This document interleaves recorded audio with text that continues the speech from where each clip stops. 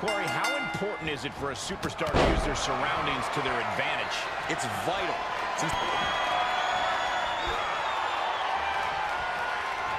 This is a look at a roller coaster, crucifix, it's over, all in a night's work.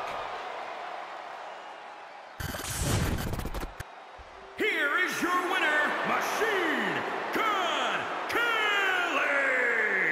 This was his dominant